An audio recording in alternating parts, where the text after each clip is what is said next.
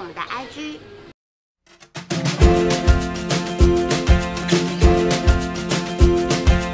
嗨，大家早安！我现在在北海道的千岁，后面呢，这个是千岁的水族馆附近的道之站，很近，但是离千岁站大概开车三分钟就到了。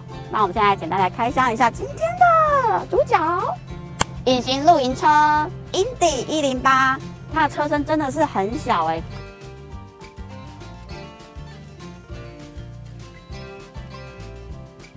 没有很夸张，就是原本想说是不是很巨大、很害怕、太庞大这样子，那没想到就是其实车子还算小小的、哦。啊，我是停在这个道之站哦。如果你有收集这个北海道道之站，可以买一个小册子，其实非常有趣，很好玩哦。车子车门锁，然后开锁，这个是后门，就是你的房间哦。这样想，你开车的地方跟你的房间、你的小房子、你的房子的钥匙哦，所以这样很好记哦。那你开车门的时候，有时候这个也是可以开的，好，这个也可以开，哎，锁门、开门，好。然后这边有这个雨遮，前面的操作呢，就是跟一般的一样。那我们来看一下，重头戏其实是是里面。现在来开房间喽，锁这边是开，就打开了。来看房间吧。那我们进到车子里面呢，就要脱鞋子哦。里面有垫地垫，很很干净。那这边呢，里面也可以自己锁门，这就是锁门，这就是开门。窗户呢，它是双层玻璃哦，这样看得到吗？就跟飞机一样，是双层玻璃。这里也有这个遮光的，这样子外面就看不进来。门边这边有收纳，可以放拖鞋。好喜欢，好幸福啊！行动的小套房，有你看有厨房，有客厅，这还是可以变成卧室，很棒吧？等一下，我们回到交车当天，有更仔细的画面。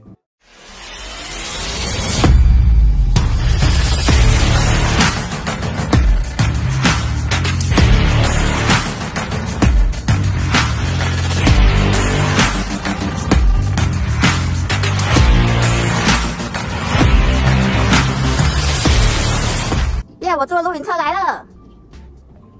来来来来来，现在就是钥匙的部分，它就是中控锁的部分。中控锁。对，按开的话，这边就可以打开。对，这边好也，可以直接锁起来，哦这边也可以直接打开。嗯，对，钥匙跟这个都可以做使用。那这个前面后面是分开的，后面是要用这一把钥匙，按这个，嗯按着旋转就可以我关起来，知道，按着这样，跟 Smart 一样，钥匙可以收起来然。后转开，嗯，对，哦它就是子。好哦，我们看一下。那窗户的部分的话，这边有可以遮光的，嗯，对，这样子。好，然后这边一样有沙发对。好，好，就来看一下用电的部分。那我们里面都要脱鞋，好所以鞋子要帮我们脱在外面。好，好。主电源的部分就把它打开，嗯打开之后这边就可以做使用这个室内灯。嗯室内灯打开之后，这边一样也可以做控制。这样子。哦，这个边的这边的这边的第三个是这边，水的部分，然后这是水，对，哇，这可以可以拉长，嗯，很可以棒，拉到外面去做使用，这样子。这个拿起来可以把水漏到下面去，这样子。那我们只能洗手，嗯，好洗手洗东洗东西，不可以倒厨余。对对对对，对，因为它管线会脏掉。对，那水的部分的话，在这边，好，这边是用水的部分，嗯只能洗手不能喝哦。对对，然后污水的话，这个污水它会流到这里，嗯所以你再把这个拿去倒掉，倒掉那要装水的话，你要把它拿去厕所装水也可以。好的，对，或者拿那个保特瓶过来装也可以。好好好，这就是水的部分这样子。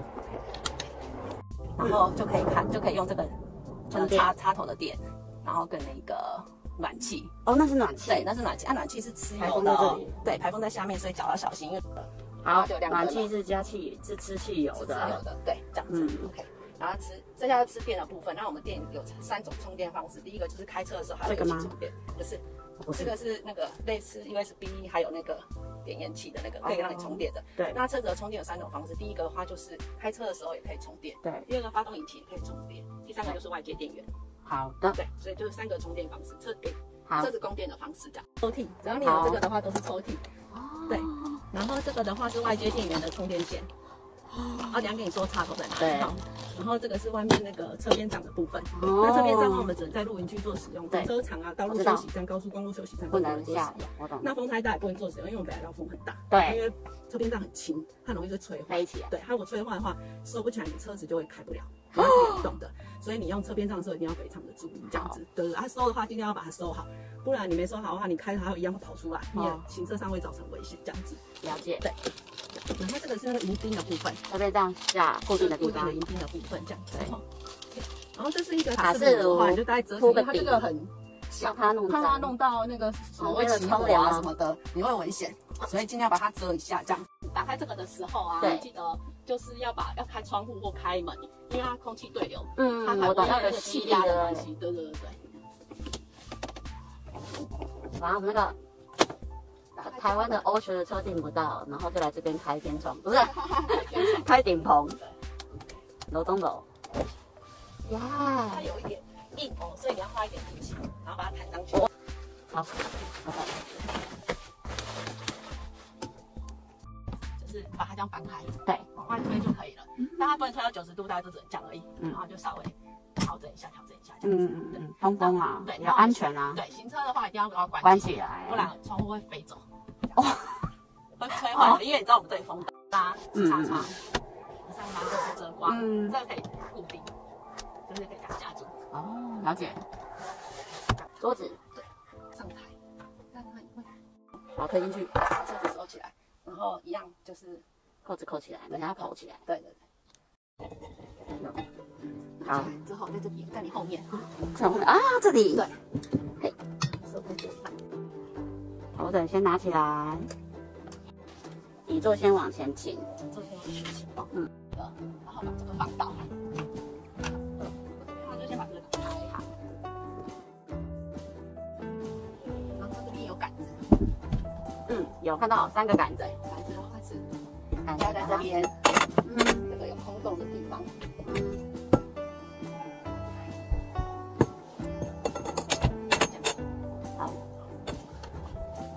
起来，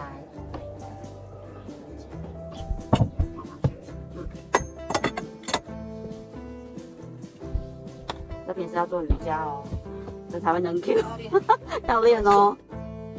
我们有铺卫生纸、嗯垃圾袋，嗯那我们垃圾的话要帮我们做好的，然后不留在车上，好，附赠一个点火器，好对，然后因为你有租那个两罐诶卡式炉的关系，所以会附两罐瓦斯，好，对，没有租就没有，好，了解，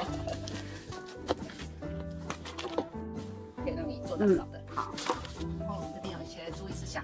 好，那我们这台车啊，伊比亚加的话是 Regular，就是这个红色标志 Regular 的部分，嗯这样子。然后我们现在红色，的汽油，对对，台湾是九五，日本叫 Regular。好，然后我们现在油箱是满的回程，最后一天还车请加满可以帮我们把油箱加满。好那，我们的三个加油站，你可以在就在这附近而已。好，这边就是卡式炉，这是烹饪组，烹饪组，然后那个是路灯灯，嗯，充电桩，车边帐，那这很方便哦，是那个摇杆的哦，台湾应该很少见这种的车边帐是摇杆的，要在露营区才可以打开这个车边帐。再来就是油箱盖，这边搬一下就可以打开了，可以这样旋转开来，或者是就是请加油站的人员帮你帮你加油这样子，帮你处理就可以了。停车的时候呢，稍微注意一下，你后面是有脚踏车架的。那如果常在开 RV 车，有自己有架脚踏车架，应该就蛮习惯的。不过我是第一次开这样子的车，所以我自己要特别注意一下，就是在停车的时候稍微注意一下这个的距离，车架的距离。我是在台湾先上网预定，不只有中文的网页，还有中文的客服。选择轻巧车款，相信我，女生可以轻松驾驭，非常适合一个人旅行，两个人刚刚好，两大一小可以，两大两小 OK，可能有点挤，有 IG 和赖客服，非常方便哦。米吉诺 Agi 鲑鱼公园千岁。位于连接千岁和小樽的国道三三七，每年都有鲑鱼在千岁川逆游而上。印度水车捕捉鲑鱼的风景是千岁的季节性传统。此外，距离新千岁机场和北海道高速公路千岁 IC 约十分钟。北海道的观光起点。米吉诺 Aki 花路会亭，主题是花水绿田园，有一家使用当地食材新鲜出炉的面包店，充满木质实感的建筑和室内露营风格的座位，好多可爱的伴手礼，鲑鱼软眼罩颈枕，有茶店，伴手礼买不完。在车流量超大的国道三十六号。有机会记得来打卡。接着开始我的道央环游，一开始还是有点紧张，毕竟是人生第一次开露营车。虽然在日本已经有三次的道路驾驶经验，所以左驾对我来说已经不是问题。还记得在千岁机场询问游客中心人员，北海道哪里有又直又长的路？后来我才发现，北海道宽敞笔直的路太多了。这是国道三十六号，从札幌金善小木到市兰，Costco 和休息站都在这条路上。省道十六号知户湖公园线，连接千岁市和善小木市之间，沿着清澈的千岁川。就是有鲑鱼会逆游而上的河川，与北海道道八七二知户湖公园自行车道并行，又叫知户湖天空之路。沿路享受北海道森林之美，开着露营车自由自在，远离市区道路就是爽啊！也是一条很棒的重机路线。这是五月底初夏新绿的风景。也许秋天路树会变成红黄绿。全线二十多公里，有机会千万不要错过。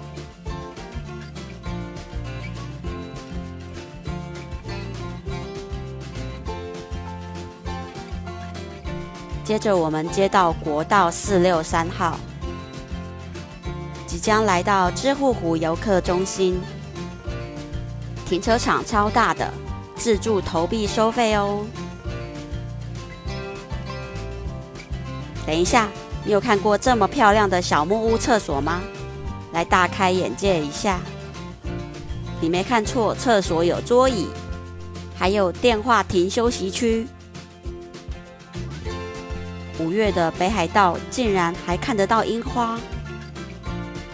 真的超幸运的，还有超美竹汤，在湖边泡竹汤看夕阳，这才是人生啊！红红的山线铁桥好美哦。知户湖位于北海道千岁市。四万年前火山爆发形成的火山口湖是日本最清澈的湖泊。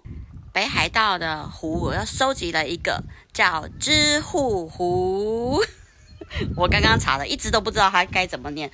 来看这个铁桥是景点，超级美的铁桥，还有路灯哦。来看一下，路灯好可爱。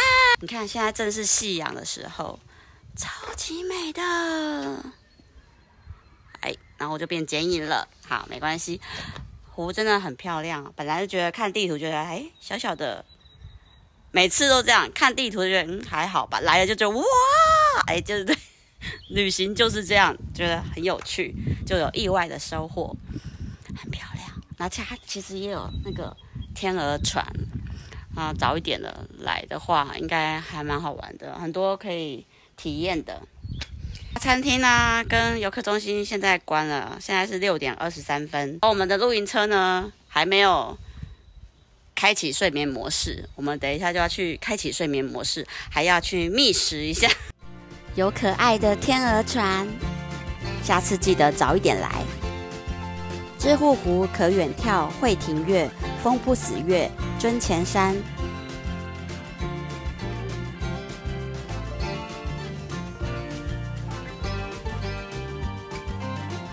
是一个被群山包围的淡水湖，在这里欣赏夕阳超惬意。跟大家讲一下哦，观景台其实是在这里。虽然铁桥那边也有啦，但是因为我们路况不太熟，比较简单的方法是这个游客中心。游客中心过来，这边有个神社，有个神社，有没有看到神社？呃，正前方就是观景台，很漂亮，可以拍到两座两座山，超美的游客中心。知户湖温泉街，我们太晚来了，几乎都打烊，决定下山到善小木市区，发现了一个超级大的超市。香岛、韩馆、美英，这个我喝过了，这两个都还没有。发现迷你版泡面，各种口味都有，不怕晚上吃太多，又可以暖暖胃。还有宝可梦的，也太可爱了吧！不过迷你杯没有比较便宜哟。今天的晚餐吃泡面啦，喝牛奶，来泡全康啦，很不错的休息室。雨东内湖休息站。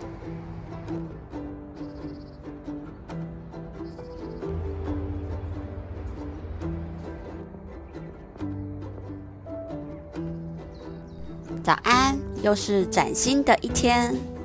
这湖面日出也太美了，湖面像一面镜子。雨东内湖是国家级野生动物保护区，很多赏鸟人士都会来这里。很幸运看到这浪漫指数破表、冒烟的湖。这是因为冷空气遇到暖暖的湖面，导致水蒸气蒸发，产生雾气，像水墨画一样的景色，如梦似幻的清晨，美得让人远离尘嚣。这就是北海道休息站，有大面的景观窗，爱鸟人士们千万别错过。这里有两百五十多种鸟类，幸运的话可以看到这些鸟。日本开着露营车在道之驿打卡，到底有多热门？休息站前第一排全满，我就是在这里刷牙洗脸后，被日本阿公阿妈搭讪。我的迷你露营车超受欢迎，你看普通停车位完全没问题。遮光布是标配哦。终于等到九点，休息站开始营业。Information 电视墙也太大了，超多资讯外还有繁体中文哦。有观光景点地图啊！哇，你看，有美食餐厅，但今天没开。休息空间很美，我们就在这里吃早餐。都顾到小孩，收集一个印章。伴手礼琳琅满目。开车机会来了就会到了，赶快，不然你什么时候还会再来不晓得。好，等一下，口味。道之意即将活动海报。休息站厕所不止干净，还有暖气。北海道的厕所一间比一间美，还有卫生纸哦。